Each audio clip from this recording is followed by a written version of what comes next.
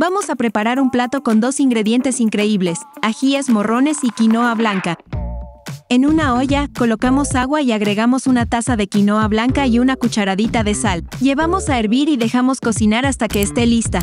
Mientras tanto, abrimos los ajíes morrones por la parte de arriba y sacamos la parte interna que no necesitamos. Los ajíes morrones nos aportan una gran cantidad de vitaminas y minerales. Son una excelente fuente de vitamina C, antioxidantes y fibra. Ayudan a fortalecer nuestro sistema inmunológico y a mantenernos saludables. Además, su sabor dulce y su color vibrante le darán un toque especial a nuestra receta. Ahora tomamos ají verde o ají cubanela y lo cortamos en trozos muy pequeños. También picamos finamente el cilantro y algunas verduritas frescas. La quinoa es un superalimento lleno de nutrientes. Es rica en proteínas y fibra, lo que nos ayudará a mantenernos llenos y satisfechos por más tiempo. Además, es baja en calorías, ideal para aquellos que buscan cuidar su figura. Y lo mejor de todo, es libre de gluten, perfecta para aquellos con intolerancias. Sacamos la olla con la quinoa blanca ya hervida. Miren qué maravilla, así es como debe quedar. Colocamos la quinoa en un bol y agregamos las verduras picadas, el cilantro, el ají cubanela cortado en trocitos,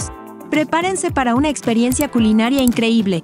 Esta receta de quinoa rellena de queso derretido les hará sentir como auténticos chefs en su propia cocina. Una cucharadita de ajo en polvo, una cucharadita de cebolla en polvo y un chorrito de aceite de oliva. Mezclamos todo muy bien. Ahora viene la parte divertida. Tomamos los dos ajíes morrones que habíamos vaciado y rellenamos el primero con la mezcla que preparamos. Luego, agregamos queso mozzarella por encima y colocamos el segundo ají morroncito por encima, cerrando nuestro delicioso paquetito. Para darle ese toquecito extra de sabor, añadimos un poco más de aceite de oliva por encima y espolvoreamos queso parmesano rallado. Ahora llevamos nuestra creación al horno por unos minutos. Y aquí lo tenemos. Miren lo impresionante que queda, con todo ese queso derretido y suculento. Este plato no solo enamorará a los niños, toda la familia lo disfrutará al máximo. Esto merece un 10 de 10, ¿verdad?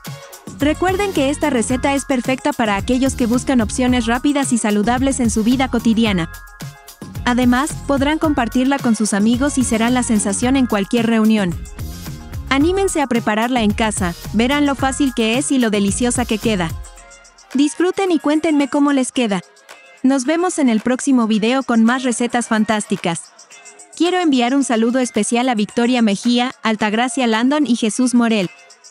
Gracias por su apoyo y por formar parte de nuestra comunidad culinaria.